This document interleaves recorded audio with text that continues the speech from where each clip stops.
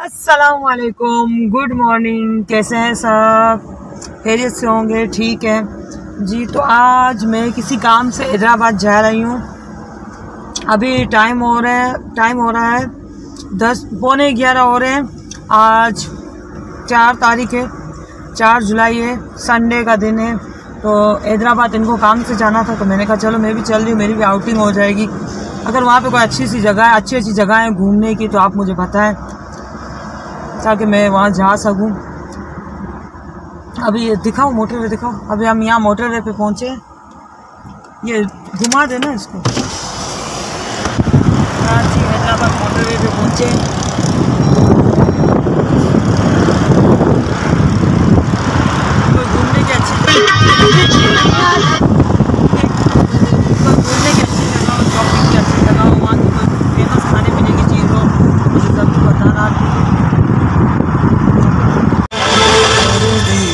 प्यार का। क्या कर रही हो तुम? हाँ? याद है ना? तुमने प्रॉमिस किया था। ये क्या? खुश आमदीद कराची हैदराबाद मोटर वे। और मेरी तरफ़ से भी सबको खुश आमदीद। सुबह का टाइम था इसीलिए आपको गुड मॉर्निंग किया वरना सुबह के मेरे में लोग नहीं होते आज निकलना तो मुझे छः बजे था मगर बस थोड़ी सी नींद आ गई पूरी रात जगी। फिर एक घंटे में नींद आ गई तो छः बजे नहीं निकल पाए। अभी निकले और अभी धूप बहुत तेज़ हो रही है। तो सुहाना आपको कैसा लग रहा है? धूप में मज़ा आ रहा है? ये देखे, धूप से सोना का हाल देखे। तो कितने घंटे में पहुँचेंगे हम?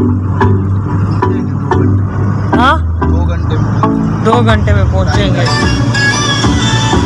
तो हैदराबाद वालों, मेरा वेलकम नहीं करोगे?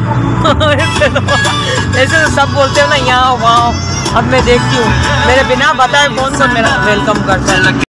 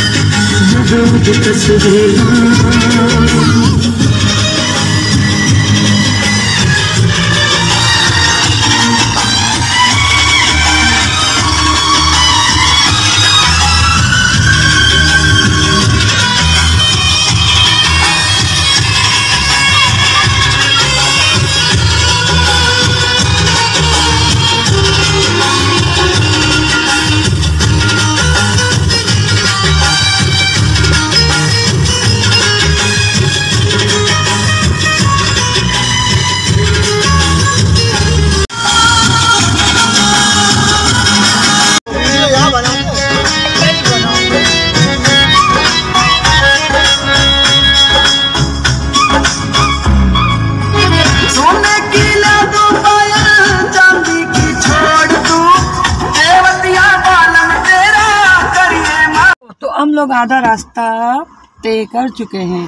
बाकी रह रहा है हैदराबाद साठ किलोमीटर दूर। साठ किलोमीटर दूर रह रहा है। अब यहाँ रुके चाय पियेंगे थोड़ा सा फ्रेश होंगे फिर आगे जाएँगे है ना सोना? क्या बोल दूँ सोना? मलिया को देखो मलिया को देखो मेरी मलिया को देखो। बहुत भूख लगी धूप में मलिया का फेस कैसा हो गया देखो। मेरा फेस सही है? मलिया हाय करो जैनी। मैंने क्योंकि आँखों में चमक आयशा जैसे लगाई है? रुको मैं आपको बताती हूँ मेरा। ये ब्लू चमक ग्लिटर बेटा ग्लिटर कहते सुहाना का मेकअप का सामान साथ में? इतना भी नहीं है मैं यही मैं इतना ज़्यादा मेकअप चाय पी के तो आगे पहुँचेंगे इंशाल्लाह। टाइम क्या हो रहा है? टाइम